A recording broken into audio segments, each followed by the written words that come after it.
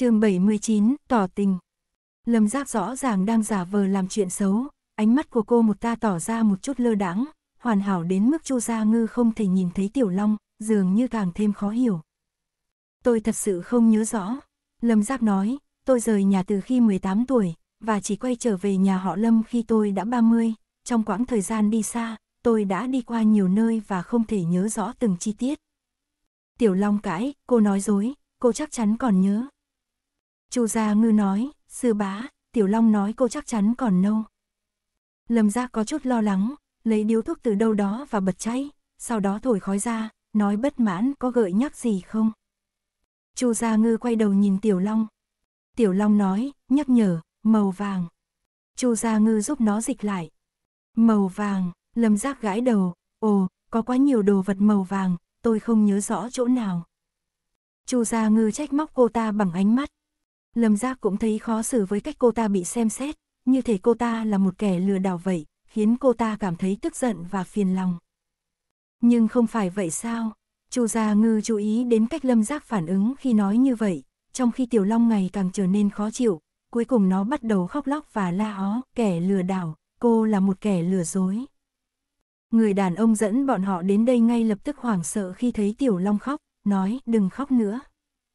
Chu Gia Ngư đang suy nghĩ về tình hình khi đột nhiên nghe thấy tiếng sấm vang lên từ trên trời, mây đen bất ngờ che phủ bầu trời trong nháy mắt và mưa bắt đầu rơi xuống. Chu Gia Ngư, sư bá. Tôi nhớ rồi, Lâm Giác nói ngay lập tức, tôi đã nhớ ra rồi. Người chính là Tiểu Long ở trong vải. Mọi người. Chu Gia Ngư thống khổ bưng kín mặt, nghĩ trong lòng rằng sư bá ơi, liệu cô có thể làm một chút chuyện đúng không? Ở đây, ai cũng biết nó là Tiểu Kim Long ở trong vải. Đúng như dự đoán, Lâm Giác ngay lập tức bị phát hiện khi giả vờ, và Tiểu Kim Long tiếp tục khóc, cơn mưa bất ngờ rơi và tất cả mọi người đều ướt sũng, kể cả Lâm Trục Thủy, người vốn có linh khí bất thường đang dần mất đi sự uy nghiêm. Nếu nói về thời điểm này, khi Lâm Trục Thủy cảm thấy sự kiện đang điều chỉnh linh khí của mình, bây giờ anh ta thậm chí cảm thấy linh khí của mình đang giảm sút, khiến Chu Gia Ngư cảm thấy rằng anh ta đang trở nên phi thường tức giận hơn bao giờ hết. Lâm Giác, Lâm Trục Thủy gọi tên anh. Lâm Giác tỏ ra rất vất vả khi phải thừa nhận, biểu hiện của cô trở nên rất rối rắm, nhưng lúc này mọi người đều không tin cô, vẻ mặt của cô khiến mọi người cảm thấy như cô là kẻ độc ác đối với Tiểu Kim Long. Tôi không phải vậy, tôi không làm gì. Lâm Giác cố gắng giải thích, tôi thật sự không nhớ rõ. Tiểu Kim Long càng khóc nhiều hơn. Nam thanh niên đang thống khổ, dùng tay lau nước trên mặt, nói tại sao các người biết tôi phải giúp nó gửi chuyển phát nhanh. Mỗi lần tôi ra khỏi nhà, lại bắt đầu mưa và sấm chớp, và wifi trong nhà bị hỏng ba lần. Chu Gia Ngư hiểu và đồng tình với anh, nhưng lúc này anh cũng không thể làm gì khác ngoài việc đứng ở trong cơn mưa. Màu vàng, màu vàng, chờ một chút, tôi đã nhớ ra. Nhưng không biết là do cảm giác đột ngột của lâm giác hay sao, anh ta bắt đầu nhớ ra, ngươi là con cá kim trúc ở trong ao nhỏ đó chứ. Tiểu Kim Long ngừng khóc, và trong nháy mắt, mây đen trên bầu trời tan biến, mưa ngừng rơi, và tất cả mọi thứ trở nên khô ráo. Tiểu Long vui mừng xoay vòng xung quanh lâm giác, cô đã nhớ ra tôi rồi. Chu Gia Ngư lau mặt bằng tay, làn nước trên khuôn mặt anh tan biến, đáp án chính xác. Lâm giác thở dài nhẹ nhõm. Chúng ta nên đi vào và thay quần áo khô, bởi vì đã có một cơn mưa bất ngờ, tất cả mọi người đều ướt sũng, Lâm giác đề xuất. Đồng ý, Chu Gia Ngư nói, Tiểu Kim Long, người có muốn đi với chúng tôi không? Anh thấy Tiểu Kim Long đang vòng vòng quanh Lâm Giác như một chú chó ngoan ngoãn. Đồng ý, đồng ý, Tiểu Kim Long đồng ý. Vậy nên họ cùng nhau trở về nơi của nam thanh niên để thay quần áo khô. Lúc trở về Chu Gia Ngư mới biết người này họ đàm, gọi đàm phi tinh, năm nay 25, từ nhỏ đã lớn lên ở đây, cơ bản không đi qua nơi khác. Kim Trúc Cung là một truyền thuyết của chúng tôi, đàm phi tinh nói, không ngờ nó thật sự tồn tại. Vậy truyền thuyết này nói về cái gì? Chu Gia Ngư hỏi. Ở nơi này, có một bến tàu, cầu thang từ trên bến tàu dẫn xuống dưới nước. Nghe đồn, nếu ai có duyên, cầu thang đó sẽ luôn dẫn xuống một cung điện, cung điện ấy là nơi của Long Vương gia, trên đó trồng đầy cây cỏ vàng. Vì thế, nó được gọi là Kim Trúc Cung, đàm bay tinh giải thích với một nụ cười. Sư bá, người đã đi qua nơi đó rồi. Chu Gia Ngư hỏi Lâm Giác. Không đâu, Lâm Giác thở dài, tôi chỉ là trong một chuyến du lịch, khi tới gần đó, tôi thấy một con cá chép màu vàng nhỏ, giống như bị lưới đánh cá treo lên. Tôi nhìn thấy nó rất dễ thương, nên đã để nó tự do. Nhưng cũng chỉ nghe qua về truyền thuyết về Kim Trúc Cung. Chỉ vậy thôi à, Chu Gia Ngư cảm thấy hơi khó tin. Ha ha, Lâm Giác cười một cách bí ẩn, sau đó đêm đó, tôi đã mơ thấy mình đến Kim Trúc Cung, và gặp được Tiểu Long, cảm ơn tôi và cho tôi một vảy rồng làm phù hộ.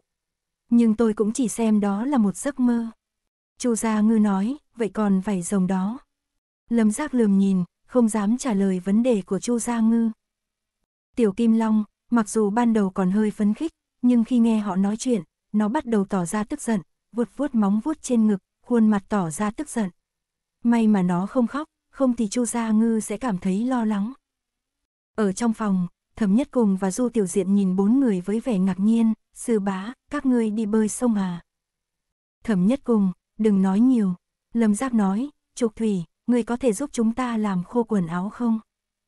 Trở về đoạn đường ngắn ngủi, trang phục của Lâm Trục Thủy đã khô một cách không hoàn hảo. Nghe lời Lâm Giác nói, Lâm Trục Thủy không để ý đến cô mà hướng Chu Gia Ngư vẫy vẫy tay, lại đây. Chu Gia Ngư chạy tới Lâm Trục Thủy và sau đó, Lâm Trục Thủy phát ra một chuỗi ngọn lửa từ trên người mình, trực tiếp lan tỏa tới Chu Gia Ngư. Y phục của Chu Gia Ngư tỏa ra một lớp xương trắng nhạt, lập tức làm cho nước trên đó bay hơi và khô ráo. Tuy nhiên, phần quần áo vẫn còn một chút cứng do tác động của lửa. Nhưng so với việc ướt, điều này cũng đã là một điều tốt rồi. Lâm Giác cũng nhận ra rằng Lâm Trục Thủy đang tức giận, và không có gì khác để làm ngoài việc đứng ở bên cạnh chờ đợi. Cuối cùng, Lâm Trục Thủy mới giúp Chu Gia Ngư làm khô hoàn toàn. Thẩm Nhất Cùng và nhóm của anh ta đã hỏi rõ về tình huống, sau đó thở dài và nói, nguyên lai thực sự là vải bức à. Đúng vậy, đàm phi tinh có vẻ đau khổ, không phải tại sao mỗi lần tôi đến đây, tôi phải chi tiền tiết kiệm để gửi chuyển phát nhanh một cách nhanh chóng. Tiểu Kim Long, ngươi tìm thấy vật kỳ lạ này ở đâu? Có ý định gì khi mang nó đến đây? Nhắc đến việc chuyển phát nhanh, Chu Gia Ngư nhớ lại vật kỳ lạ trong hòm đồ. Không có gì kỳ lạ cả. Tiểu Kim Long trả lời, chúng có ở khắp nơi trong nước, tôi chỉ tìm thấy chúng một cách ngẫu nhiên. Đồ vật này là gì vậy? Chu Gia Ngư hỏi. Là cá, Tiểu Kim Long trả lời một cách nghiêm túc, chúng ăn rất ngon, bạn đã thử chưa? Chu Gia Ngư, không, cảm ơn, chúng tôi chẳng có ý định thử ăn cá, cảm ơn. Chỉ có Chu Gia Ngư, Đàm Phi Tinh và Tiểu Kim Long ở trong phòng, Lâm Giác đã nhanh chóng làm khô quần áo và sau đó làm trạng thái ban đầu trở lại. Nhìn thấy việc này, Tiểu Kim Long giải thích rằng mình không có ý định khiến mọi người phiền lòng. Sau khi trạng thái ban đầu được khôi phục, mọi người đều thấy Tiểu Kim Long đáng yêu, Lâm Giác khen ngợi nó bằng ánh mắt yêu thích. Tiểu Kim Long tự tin nói, đương nhiên tôi đáng yêu, con người các ngươi thích không? Lâm Giác trả lời, rất thích. Thẩm nhất cùng đứng ở bên cạnh, gương mặt tối tăm, không ai biết anh ấy đang nghĩ gì. Chu Gia Ngư đoán rằng anh ấy đang trải qua một cuộc đấu tranh nội tâm, vừa mới rồi anh ấy muốn đánh mạnh vào người đã làm hỏng bộ đồ của mình, nhưng giờ lại thấy một con rồng nhỏ, điều này hiển nhiên khiến anh ấy khó chịu. Vì sao ngươi muốn nguyền rủa món quà này? Thẩm nhất cùng hỏi. Tiểu Kim Long trả lời, nếu không nguyền rủa, các người sẽ đến đây chứ? Chu gia Ngư, thực ra chúng tôi không nhất thiết phải đến đây. Tôi đã chờ cô rất lâu. Tiểu Kim Long than phiền về lâm giác, cô luôn không đến, tôi cảm thấy mệt mỏi. Nó nhìn sang đàm phi tinh. Đàm phi tinh có vẻ thất vọng, Chu Gia Ngư đoán rằng anh ta bị Tiểu Kim Long quấy rối mỗi ngày. Ừm, vậy ngươi làm vậy là muốn cảm ơn ta? Lâm Giác hỏi. Không, tôi muốn cưới cô. Tiểu Kim Long nghiêm túc trả lời. Này vừa nói, toàn trường rơi vào sự im lặng. Lâm Giác nhìn thẳng vào Tiểu Kim Long, ngươi thấp như vậy, còn muốn cưới ta. Tiểu Kim Long. Bên cạnh, ba người cố gắng kìm nén cười, miệng bưng kín, nhưng sự run rẩy của họ và việc vặn vai đã tiết lộ cảm xúc của họ. Tiểu Kim Long nhanh chóng bốc lửa, ngươi nói ta thấp à? Lâm Giác giải thích, không, không, ý của ta là, ngươi vẫn còn bé nhỏ. Cô ấy dùng ngón tay so sánh chiều cao của Tiểu Kim Long, nhận ra rằng nó thực sự không cao, chỉ khoảng 10cm, trông rất nhỏ xinh và dễ thương. Tiểu Kim Long nói, ngươi nói ta bé nhỏ à? Lâm Giác, cô không biết phải nói gì thêm, tại sao mọi người lại như thế này, đang tạo nên một tình huống hài hước, cười rõ ràng. Tiểu Kim Long rõ ràng tức giận, nó quay người và bay ra cửa sổ. Chu Gia Ngư không biết nó định làm gì, nhưng sau một lát, anh ta nhìn thấy cơ thể của Tiểu Kim Long trên không trung trở nên lớn lên, lớn lên, âm thanh của nàng cũng từ tinh tế nhỏ nhắn biến thành một giọng nam mạnh mẽ, lâm giác. Lâm giác run rẩy, tôi nghe thấy có ai đó gọi tôi sao? Chu Gia Ngư, ôi, sư bá, cô đang chọc phá chân long à? Lâm giác quay đầu nhìn Lâm Trục Thủy, hỏi, Thủy à, theo cậu giờ chúng ta nên làm gì? Lâm Trục Thủy bộ mặt lạnh lùng, còn có gì làm, gả đi. Lâm giác, Chu Gia Ngư tự nhắc mình không được cười. Tiểu Kim Long đã quay về nhà một lần nữa sau khi quay vòng. Lâm giác châm ngòi điếu thuốc, bắt đầu suy nghĩ. Bây giờ chúng ta phải làm sao? Lâm giác hỏi, lần này ánh mắt anh ta hướng về Chu Gia Ngư và Thẩm Nhất Cùng. Thẩm Nhất Cùng và Chu Gia Ngư im lặng, hướng mắt đi nơi khác, Lâm Giác thở dài, Kim à, ta nói thật với ngươi, ta đã có người mà ta thích. Tiểu Kim Long nghe vậy tức giận, người yêu thích ai, ta muốn ăn hắn. Lâm Giác nói, ồ, thì ra ta không dám nói với ngươi. Dù sao, tình cảm này không thể điều khiển từ đầu đến cuối. Mặc dù ngươi rất đáng yêu, nhưng chúng ta có những sở thích khác nhau. Tiểu Kim Long bắt đầu gọi nghiên răng. Lâm Giác tiếp tục, và ta cũng không phải là người hoàn hảo như ngươi nghĩ, ta hút thuốc, uống rượu, và có hình xăm. Ta không phải là người phù hợp với ngươi. Chu Gia Ngư đối diện với Lâm Giác, đánh vào vai cô một cách trách móc, cảm thấy như đang giáo dục một đứa trẻ nghịch ngợm. Tiểu Kim Long rơi vào sự im lặng. Làm sao thì tốt nhất cho cả hai. Lâm Giác nói, mỗi lời từng phân tích một cách chuẩn xác, hãy quên về ta, ta không xứng với ngươi. Nhưng Tiểu Kim Long nói, ngươi nói đúng. Mọi người khác đều bất ngờ, không ngờ rằng nó sẽ tin tưởng vào lời nói của Lâm Giác như vậy, nó nói ta sẽ phải suy nghĩ kỹ hơn lần sau. Lâm Giác thở dài một hơi nhẹ nhõm, cảm thấy như mình đã giải quyết tốt tình huống này. Chỉ có Lâm Trục Thủy nở một nụ cười lạnh lùng, nhưng có vẻ anh đã dự đoán trước điều này. Sau khi Tiểu Kim Long nói xong, nó quay người bay ra cửa sổ, mọi người nhìn thấy bóng dáng của nó, nó trở nên suy tư. Sư bá, thẩm nhất cùng nói, chúng ta không nên quên mất một việc quan trọng, có thể ngươi muốn gửi lễ vật cho nó không? Lâm Giác trả lời, ta không biết. Vấn đề này được giải quyết nhẹ nhàng như vậy, không ai ngờ rằng Tiểu Kim Long sẽ chấp nhận từ chối của Lâm Giác một cách dễ dàng. Lần thứ hai nó quay trở lại bên trong cung điện, nó biết rằng không bao giờ sẽ gặp được người phù hợp. Lâm Giác cảm thấy an ủi, sau đó hỏi đàm phi tinh, ta xem ngươi cốt cách thanh kỳ, có muốn hay không cùng đi với ta, sau đó ngươi tất thành đại khí đại sư. Đàm phi tinh trả lời rất chân thành, nếu không phải vì các người cũng nhìn thấy tiểu long, ta có thể thực sự nghĩ các người là nhóm bán hàng đa cấp. Lâm giác, nhưng tôi thực sự không phải là người điên, đàm phi tinh vui vẻ nói, nhưng lại khó giải thích cho mọi người cảm thấy chút buồn bã, anh cười, từ nhỏ đến lớn, tôi đã có thể nhìn thấy một số vật không thể nhìn thấy của người khác. Họ vẫn luôn nói tôi bị điên, nhưng bây giờ dường như tôi tồn tại. Anh nhìn về phía Chu Gia Ngư, trong ánh mắt là sự kích động. Chu Gia Ngư vỗ về vai anh ta, nói rằng người như bọn họ thực sự rất nhiều, chỉ là hắn không gặp may mắn thôi. Người như vậy, trong vòng tròn này ai cũng muốn giành. Lâm Giáp nói, nếu muốn tin tưởng ta, hãy đi cùng ta. Chúng ta có thể mở ra một thế giới mới cho ngươi. Đàm phi tinh lưỡng lự một lúc, cuối cùng vẫn đồng ý đi cùng Lâm Giác. Hiện tại, hắn dường như đơn độc, không có người thân, không có bạn bè, dù đã quen với cảm giác đó, nhưng đôi khi vẫn cảm thấy cô đơn. Gặp được một người giống như mình, từ một khía cạnh nào đó, đều là một niềm hạnh phúc. Sau khi đuổi Tiểu Long đi, hắn hoàn toàn trở lại cuộc sống cá nhân của mình, chuyến đi này cũng không phải là không có ý nghĩa.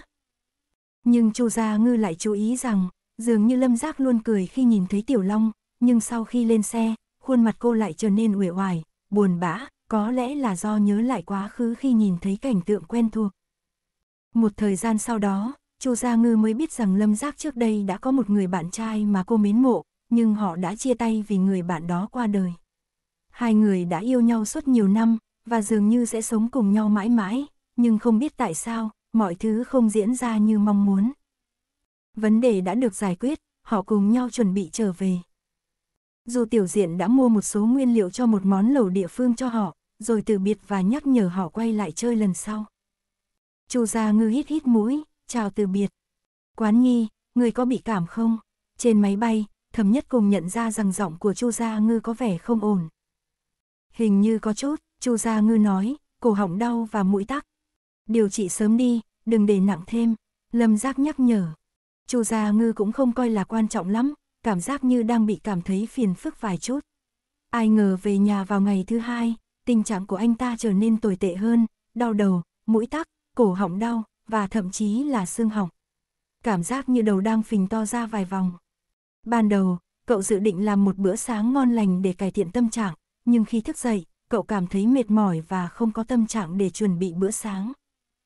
Quán nhi, sao vậy? Thẩm nhất cùng nhìn thấy Chu Gia Ngư ngồi xuống và cảm thấy có vẻ không khỏe. Tôi bị cảm, Chu Gia Ngư nói, cổ họng đau và mũi tắc. Thẩm nhất cùng hỏi, cậu có uống thuốc không? Chu Gia Ngư lắc đầu. Thẩm nhất cùng nhanh chóng lấy thuốc và đưa lại cho Chu Gia Ngư, yêu cầu cậu nằm xuống ngay.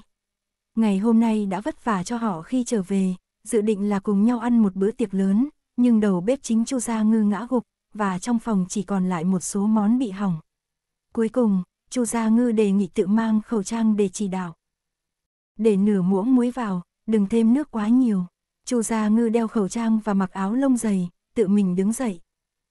Lâm Giác lo lắng cho sức khỏe của cậu, sợ cậu thêm mệt mỏi. Nhưng Chu Gia Ngư nói rằng không sao, chỉ là cảm mạo thôi, không có vấn đề lớn. Nhưng sự thực chứng minh rằng có một số việc không thể không để ý, vào buổi tối cùng ngày đó, tình trạng cảm mạo của Chu Gia Ngư trở nên nghiêm trọng hơn.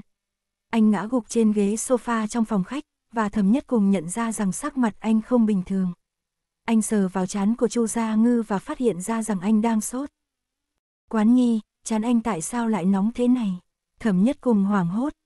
Chu Gia Ngư nói, a đau đầu. Thẩm nhất cùng lấy khẩu trang của Chu Gia Ngư và nhìn thấy khuôn mặt anh đỏ bừng. Tôi sẽ gọi bác sĩ đến ngay, mọi người ở đây đợi chút. Bác sĩ gia đình đến rất nhanh chóng và đo nhiệt độ của Chu Gia Ngư, phát hiện nhiệt độ là 39.8 độ C.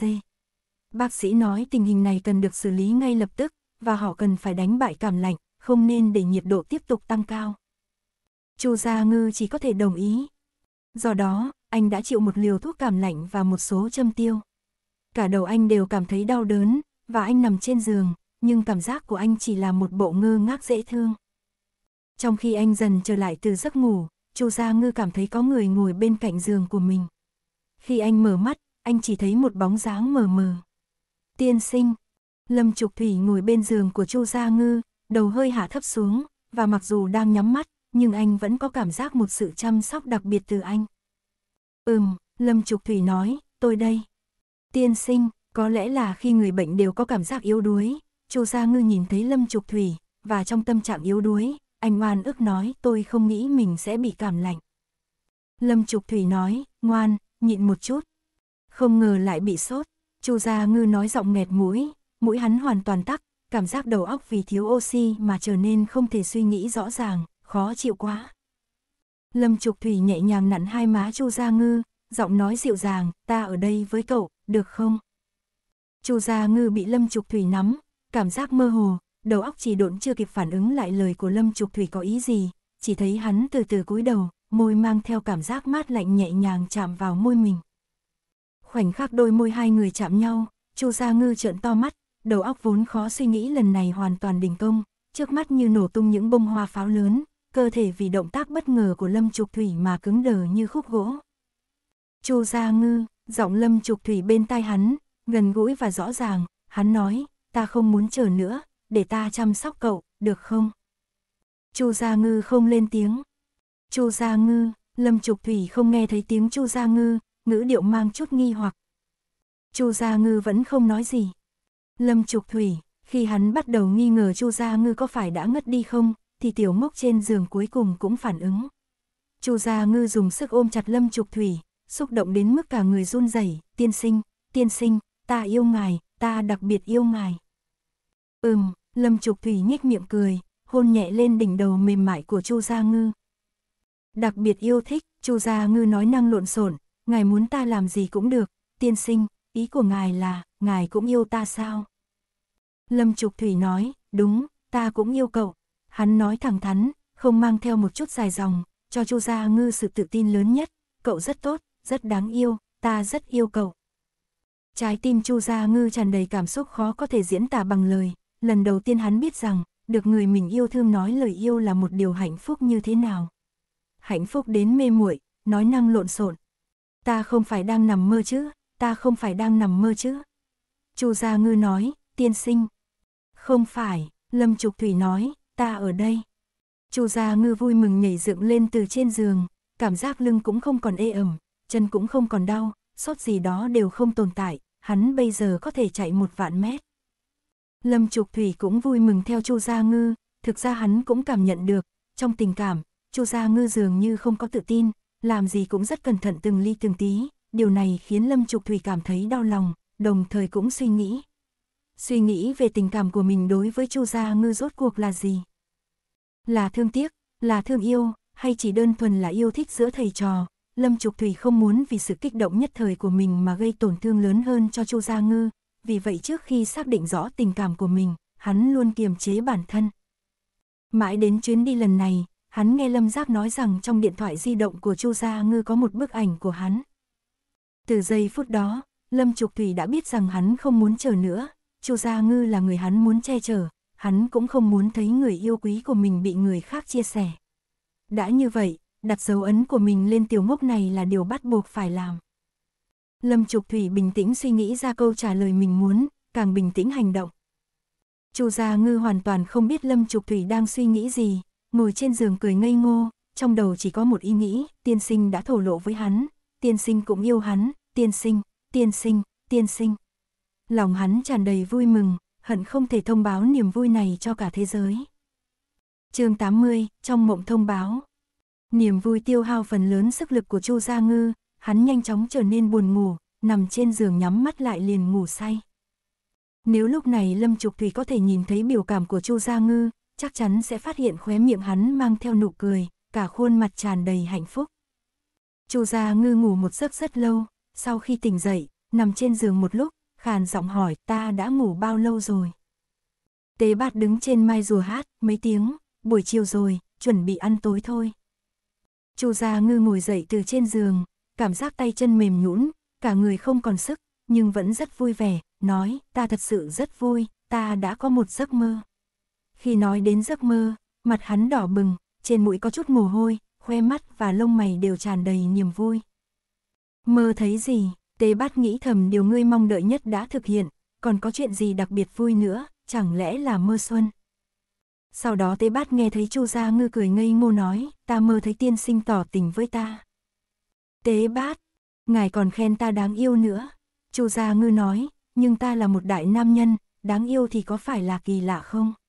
Hắn vừa nói, vừa mặc quần áo, giấc mơ này quá chân thực, suýt nữa ta tưởng là thật. Nếu lúc này Chu Gia Ngư nhìn Tế Bát, có lẽ sẽ phát hiện trong đầu hắn như một pho tượng đứng yên. Nhưng lúc này hắn vội vàng mặc quần áo xuống lầu, cũng không để ý đến biểu cảm của Tế Bát. Nếu Tế Bát có khuôn mặt người, thì lúc này mặt của nó chắc chắn đỏ bừng vì nín thở, nên nó suýt chút nữa nghẹn chết, Chu Gia Ngư, nếu như ngươi có thể trở lại quá khứ, ta nhất định sẽ cho ngươi một lời khuyên chân thành. Chu Gia Ngư hỏi, lời khuyên gì? Tế Bát nói, ta khuyên ngươi nên tìm cơ hội yêu sớm khi còn học cấp 3. Chu Gia Ngư nghe xong không hiểu gì cả. Hắn thịch thịch thịch đi xuống lầu, nhìn thấy dưới lầu đã dọn sẵn một bàn đồ ăn ngon. Nhìn chất lượng đồ ăn chắc chắn không phải do người trong nhà làm, đoán chừng là lâm giác gọi thức ăn ngoài. Quán nhi, ngươi tỉnh rồi, cảm giác cơ thể tốt hơn chưa? Thẩm nhất cùng đang chơi bài với tiểu chỉ và mấy người khác, thấy chu gia ngư xuống lầu thì mở miệng hỏi. Tốt lắm rồi, sau khi tiêm thuốc và ngủ một giấc, chu gia ngư cảm thấy tinh thần sảng khoái, tràn đầy sức sống, đặc biệt là khi trong giấc mơ gặp chuyện tốt đẹp như vậy. Vậy ngươi ăn chút gì trước đi? Thẩm nhất cùng nói, trên bàn đều là sư bá xác định cho ngươi, nói là phải bồi bổ cho ngươi. Chu Gia Ngư gật đầu, vốn cũng có chút đói bụng nên ngồi vào bàn. Thức ăn trên bàn đều là những món thích hợp cho người bệnh, vị ôn hòa, lại rất bổ dưỡng. Tâm trạng Chu Gia Ngư tốt, ăn cũng nhiều hơn rất nhiều, vừa ăn vừa khe khẽ hát. Tế Bát nói, Chu Gia Ngư, ta có chuyện phải nói cho ngươi, ngươi chuẩn bị tâm lý thật tốt.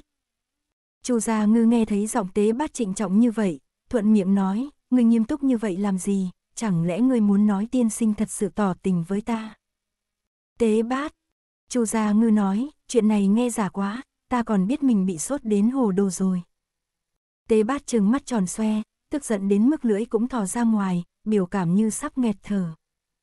Chu Gia Ngư bị dáng vẻ dữ tợn của nó làm sợ hãi, cẩn thận gọi, tế bát, ngươi không sao chứ? Tế bát nói, Chu Gia Ngư ta nhất định phải nghiêm túc nói cho ngươi, Lâm Trục Thủy thật sự đã tỏ tình với ngươi, ngươi không phải đang mơ. Chu Gia Ngư nghe vậy cười ha ha, chuyện cười này ta đã đoán được, ngươi không thể đổi cái khác à. Tế bát rơi vào trầm mặc, thực ra, nếu bây giờ nó có thực thể, khả năng đã xông lên mổ vào chán Chu Gia Ngư, muốn đem kẻ ngu si này mổ tỉnh táo lại. Chu Gia Ngư cười híp mắt đang ăn cơm, thẩm nhất cùng đang chơi bài bên cạnh thấy vậy bèn hỏi, ngươi làm sao mà tâm trạng tốt thế?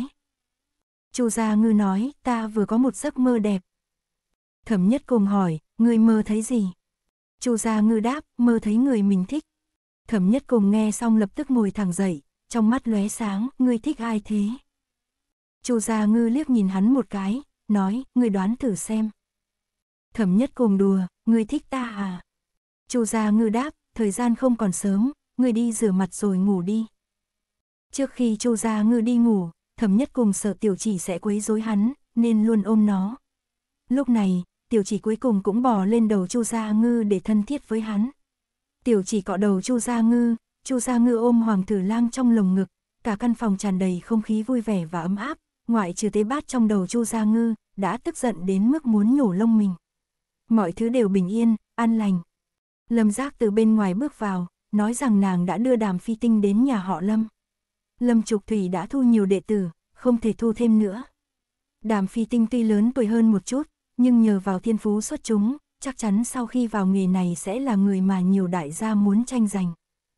Một mình hắn chống đỡ nhiều như vậy cũng không dễ dàng. Lâm Giác nói, thông thường, những người có thể nhìn thấy vật bẩn dễ dàng thu hút vật bẩn, không ai bảo vệ rất dễ xảy ra chuyện. Có lẽ vì nơi đó có con rồng, mới đè nén được tà khí này. Nói đến chữ rồng, biểu cảm của Lâm Giác có chút không tự nhiên. Chu Gia Ngư và Thẩm Nhất cùng đều thấy, nhưng không ai nhắc tới, tiếp tục giả vờ nghiêm túc làm chuyện của mình.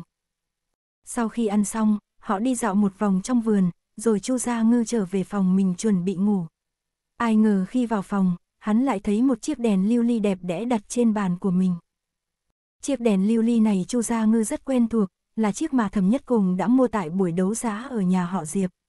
Trên đèn có cắm một trụ hương ngắn đang từ từ cháy, mùi hương rất quen thuộc với Chu Gia Ngư, chính là mùi đàn hương đặc trưng của Lâm Trục Thủy. Bên cạnh đèn có đè một tờ giấy trắng, trên đó viết những chữ đẹp đẽ tặng Chu Gia Ngư. Ký tên là Lâm Trục Thủy. Chu Gia Ngư biết rõ giá trị của chiếc đèn này, phản ứng đầu tiên là không thể nhận món quà quý trọng như thế. Tuy nhiên, bây giờ đã hơi trễ, đi tìm Lâm Trục Thủy giải thích không quá thích hợp, nên Chu Gia Ngư định sáng sớm mai sẽ từ chối món quà này. Mặc dù đèn không thể nhận, nhưng hương Chu Gia Ngư rất thích, đặc biệt là mùi hương giống với Lâm Trục Thủy, khiến Chu Gia Ngư có cảm giác như đang ở trong vòng tay của hắn. Hương thơm dễ chịu quá, hương này dường như có tác dụng giúp ngủ ngon, Chu Gia Ngư nằm trên giường và rất nhanh chóng nhắm mắt, đêm đó ngủ cực kỳ say và còn mơ thấy những hình ảnh rất ám muội. Sáng hôm sau, Chu Gia Ngư lén lút xuống lầu giặt quần cọc. Sáng sớm, Chu Gia Ngư nhìn thấy tế bát lông chim ngổn ngang nằm trên mai rùa, trông thoi thóp. Hắn hốt hoảng, vừa giặt quần cọc vừa hỏi, ngươi làm sao vậy, tế bát? Tế bát đáp, ngươi tối hôm qua mơ thấy gì? Chu Gia Ngư lý nhí, người mình thích. Tế bát tức giận, ngươi không thể nói rõ ràng hơn à? Người mình thích, ngươi thích ai mà còn phải giả bộ bí hiểm, ta chính là ở trong đầu ngươi. Chu Gia Ngư cười, được rồi, ta mơ thấy Lâm Trục Thủy. Hắn giặt quần cọc xong liền vui vẻ, ta mơ thấy hắn lại tỏ tình với ta, còn hôn ta. Tế bát tâm trạng hoàn toàn sụp đổ, nó nói, vậy nếu ta nói Lâm Trục Thủy tỏ tình với ngươi không phải là mơ, ngươi sẽ không tin ta đúng không? Chu Gia Ngư cười lớn, oa, ngươi hơi quá đáng đấy, ai tin chuyện này chứ? Nói xong, Chu Gia Ngư thấy tế bát điên cuồng đập đầu vào mai rùa, trông như muốn tự sát. Chu Gia Ngư hoảng hốt, vội vàng hỏi sao lại như vậy, tại sao lại nghĩ không thông. Tế bát hét lên, đừng nói chuyện với ta. Chu Gia Ngư nghi ngờ Tế bát đang trong giai đoạn trưởng thành, tâm trạng sao lại thay đổi thất thường như vậy. Đến giờ cơm trưa, Chu Gia Ngư như thường lệ mang cơm cho Lâm Trục Thủy. Thẩm Nhất Cùng thấy Chu Gia Ngư không khỏe nên muốn đi cùng, nhưng Chu Gia Ngư từ chối, sợ Thẩm Nhất Cùng nhìn thấy chiếc đèn lưu ly và suy nghĩ nhiều. Chu Gia Ngư mang giỏ thức ăn, đến cửa phòng Lâm Trục Thủy, còn chưa gõ cửa, cửa gỗ đã mở ra. Lâm Trục Thủy đứng ở cửa, nói, vào đi. Chu Gia Ngư bước vào phòng. Lâm Trục Thủy không nói chuyện với Chu Gia Ngư, trực tiếp tiến vào thư phòng, hắn dường như đang vẽ thứ gì đó, trên bàn bày thuốc màu và bức tranh. Chu Gia Ngư đứng ở cửa không dám tiến vào quá sâu, đặt thức ăn lên bàn bên cạnh, rồi gọi một tiếng tiên sinh. Lâm Trục Thủy nói, sau này gọi tên ta là được rồi. Chu Gia Ngư nghe thấy liền sửng sốt, không hiểu vì sao Lâm Trục Thủy lại nói câu này. Hắn có chút không quen, nhưng sau một phút do dự, vẫn đánh bạo nói, nhưng mà... Ta vẫn cảm thấy gọi ngài là tiên sinh thì thích hợp hơn. Lâm Trục Thủy dừng bút, hơi nghiêng đầu, lông mày nhíu lại, cũng không cần gọi ta là ngài. Chu Gia Ngư trong lòng lo lắng, nghĩ rằng đã xảy ra chuyện gì khiến thái độ của Lâm Trục Thủy thay đổi. Hắn cảm thấy hôm nay Lâm Trục Thủy có chút kỳ lạ, nhưng trọng điểm hắn đến đây không phải để bàn về vấn đề xương hô. Chu Gia Ngư lấy chiếc đèn lưu ly đẹp đẽ từ trong rổ ra, cẩn thận đặt lên bàn. Hắn nói, tiên sinh, vật này quá quý trọng, ta không thể nhận. Lâm Trục Thủy lập tức buông bút, cầm hơi vung lên, đôi môi cũng mím lại, biểu hiện không vui vẻ gì. Chu Gia Ngư nhìn thấy Lâm Trục Thủy rõ ràng không vui, vội vàng nói, tiên sinh, ngài. Hắn vốn định nói ngài, nhưng nhớ tới lời Lâm Trục Thủy trước đó, nhanh chóng sửa lại, lòng tốt của ngươi ta xin nhận, nhưng đèn này ta thật không thể nhận, quá quý trọng. Tại sao không thể nhận? Lâm Trục Thủy quay người lại, ngữ khí có chút lạnh lùng. Chu Gia Ngư bị biểu hiện của Lâm Trục Thủy làm cho hoảng sợ, không nghĩ từ chối lại khiến Lâm Trục Thủy phản ứng mạnh như vậy, nên có chút lúng túng ta chỉ sợ mình sẽ làm hỏng đèn. Ngươi hối hận rồi, Lâm Trục Thủy hỏi một câu làm Chu Gia Ngư không hiểu. Chu Gia Ngư nhìn chiếc đèn, rồi nhìn Lâm Trục Thủy, trong lòng dâng lên cảm giác bất an. Biểu hiện của Lâm Trục Thủy quá lạnh lùng, như băng cứng, khiến Chu Gia Ngư không khỏi cảm thấy co rúm lại, hắn nói, tiên sinh. Lấy đi, Lâm Trục Thủy nói, nếu không muốn thì lấy đi ném, không cần trả lại cho ta. Chu Gia Ngư nuốt một ngụm nước bọt, từ trong lời này, hắn rõ ràng nhận ra Lâm Trục Thủy thật sự đang rất tức giận, hơn nữa là cực kỳ tức giận. Chu Gia Ngư không biết nên nói gì, hắn sợ Lâm Trục Thủy dưới cơn giận sẽ ném đèn vào thùng rác, vì vậy cầm đèn chậm rãi đi ra ngoài. Chu Gia Ngư, khi hắn sắp ra khỏi cửa, Lâm Trục Thủy đột nhiên gọi lại. Chu Gia Ngư ngẩng đầu lên, tiên sinh. Lâm Trục Thủy nói, thôi, ngươi đi đi. Hắn dường như có rất nhiều điều muốn nói, nhưng cuối cùng lại lựa chọn im lặng. Chu Gia Ngư cúi đầu ủ rũ đi dọc theo hành lang. Trên hành lang, lão hổ lại một lần ý đồ dọa hắn, nhưng lần này hắn lại không có một chút phản ứng, tâm trạng rối bời rời đi. Chu Gia Ngư mang theo đèn đi đến, và giờ lại mang đèn trở về. Người trong nhà nhìn thấy hắn dáng vẻ như đưa đám, đều hơi kinh ngạc. Lâm Giác nói, Quán Nhi, ngươi sao thế, sao trông như bị mất hồn vậy? Ta hình như đã làm tiên sinh giận, Chu Gia Ngư buồn bã nói. Ngươi, làm cho hắn giận sao? Lâm Giác có phần khó tin, ngươi còn có thể làm trục thủy giận, không thể nào, có phải là có hiểu lầm gì đó.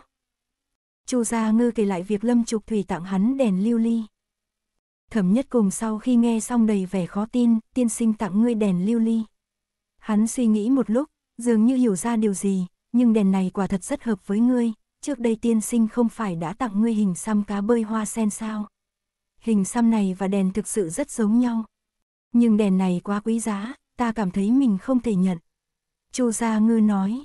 Lâm Giác nói, ngươi đừng vội, ta sẽ đi hỏi xem tình hình ra sao. Tính tình trục thủy thường không dễ tức giận, trừ khi chạm đến ranh giới cuối cùng của hắn. Chu Gia Ngư nghe vậy tâm trạng càng lo lắng hơn. Sau đó, Lâm Giác liền ra cửa, để lại một thầm nhất cùng suy nghĩ sâu sắc và một Chu Gia Ngư ủ rũ như dưa chuột muối. Lâm Giác trực tiếp đi gặp Lâm Trục Thủy. Khi vào phòng, nàng thấy đệ đệ đang ngồi trong phòng, trước mặt đặt một bức họa bán thành phẩm. Dù chỉ mới vẽ một nửa, nhưng Lâm Giác vẫn nhận ra người trong tranh là Chu Gia Ngư. Làm sao rồi, như thế nào lại cáu kỉnh với quán nhi?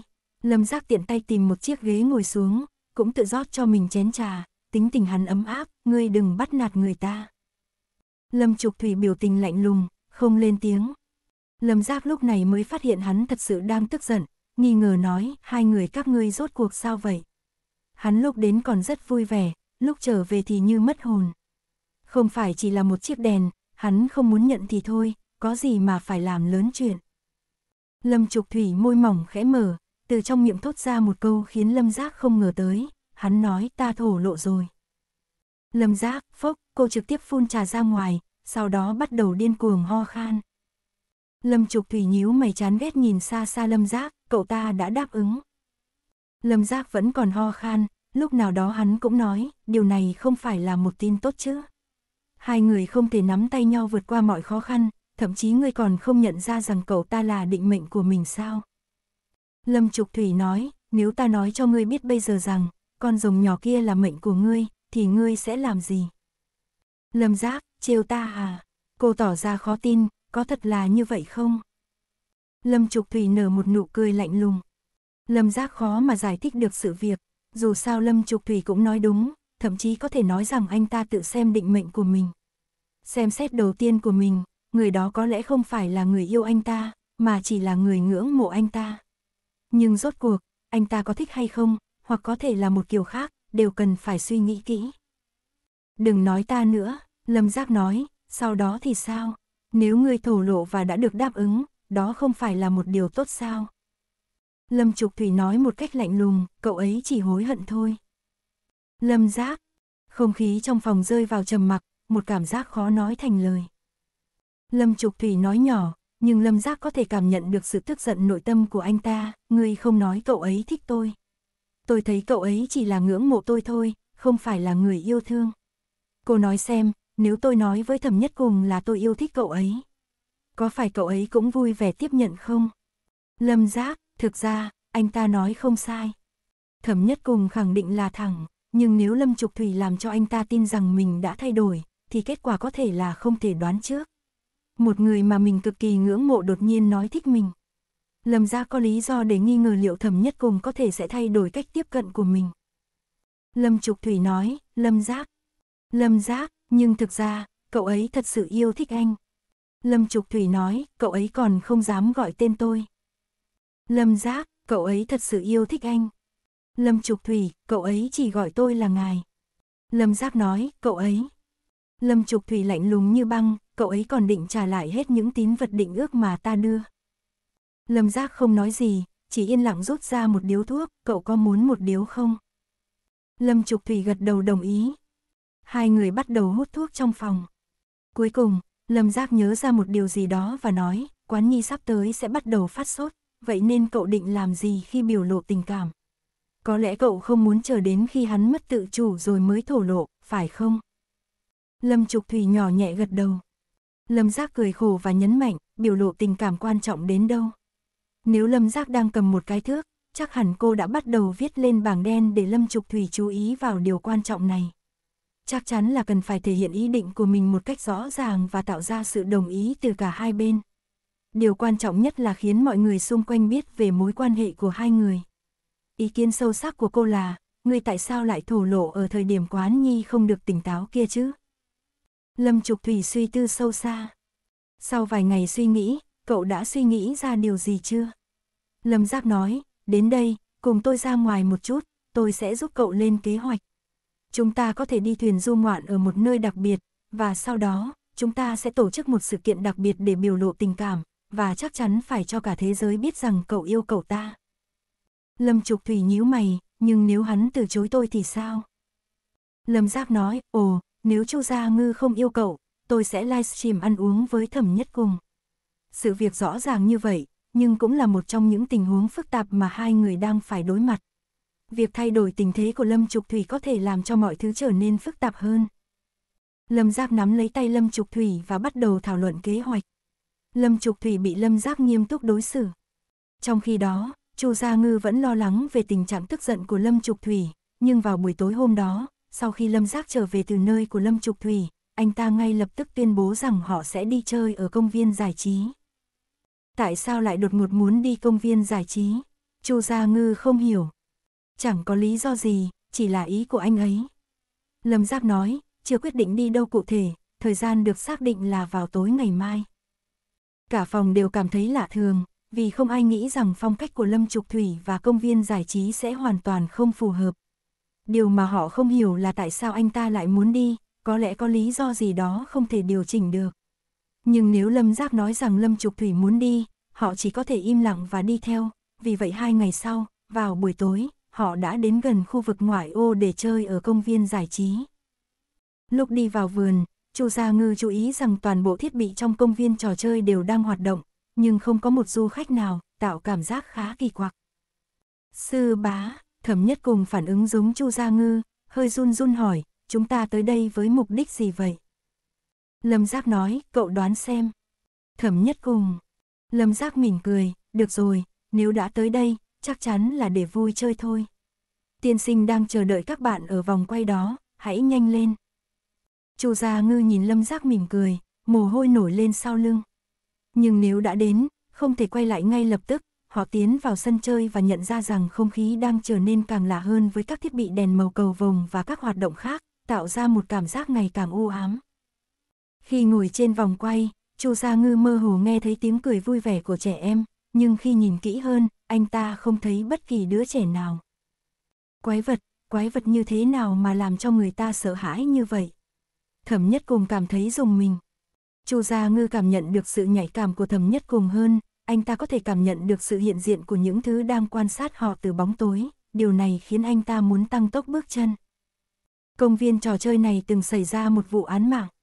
Thẩm mộ tứ tra điện thoại di động của mình, có một số vụ án xảy ra ở đây, và sau đó công viên trò chơi đã cố gắng giấu đi. Họ tiếp tục tiến vào vòng quay, nhưng trước khi đến, Chu Gia Ngư nhận ra một cảnh tượng kinh hoàng, tôi thấy vòng quay đó đầy người. Thẩm nhất cùng quay đầu nhìn lại và thấy Chu Gia Ngư đang nói sự thật, gần như mỗi ghế đều có người ngồi, nhưng điều kinh khủng nhất là họ đều quay mặt gần kính, với ánh mắt tập trung nhìn vào phía họ. Tôi sợ quá, thẩm nhất cùng thú nhận, tôi nghi ngờ rằng tiên sinh có lẽ đang chơi trò đùa với chúng ta. Chu Gia Ngư không cười, nuốt nước miếng, chúng ta có nên tiếp tục đi vòng quay không? Thẩm mộ tư nói, nếu sư bá nói rằng tiên sinh đang ở đó, thì có lẽ chúng ta nên đi. Thẩm nhị bạch và thẩm triều tam cũng không quá tin tưởng vào điều này, họ bắt đầu rút lá bùa.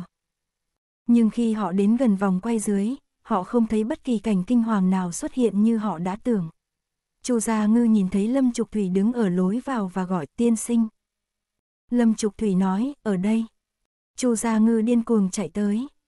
Lâm Trục Thủy chỉ về vòng quay đang di chuyển cạnh bên, vào đó. Các đệ tử nhìn nhau một cái, cuối cùng vẫn quyết định tin tưởng vào lời Lâm Trục Thủy, mỗi người lần lượt ngồi xuống trước mặt vòng quay. Chu Gia Ngư ban đầu muốn đi vào trước, nhưng lại bị Lâm Trục Thủy kéo lại. Người cuối cùng, Lâm Trục Thủy nói, cùng ta ngồi cùng một chỗ. Chu Gia Ngư chỉ có thể nhút nhát đáp vâng. Trong lòng cậu tự hỏi liệu đây có phải là một lựa chọn đúng đắn không? Khi anh ấy nhìn thấy những người đang ngồi ở trên vòng quay, cậu tự hỏi liệu mình có nhìn nhầm không? Chào mừng bạn đến với kênh Holic Audio. Mời bạn tiếp tục theo dõi bộ truyện ngũ hành tôi thiếu em của tác giả Tây Từ Tự.